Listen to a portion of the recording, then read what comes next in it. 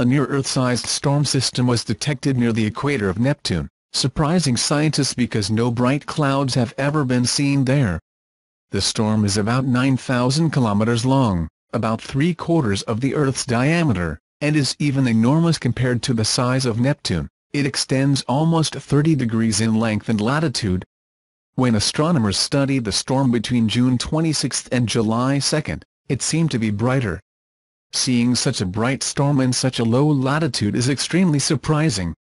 Normally this area is very quiet and we only see bright clouds in the middle latitudes bands, so having such a huge cloud sitting right on the equator is spectacular. Because telescope time is competitive, opportunities to observe giant gas planets are rare. This means that professional astronomers may have to wait months or years between observations.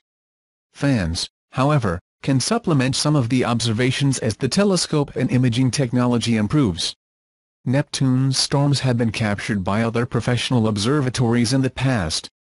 Voyager 2 saw a big dark spot in 1989, which disappeared by the time the Hubble Space Telescope examined the planet in 1994.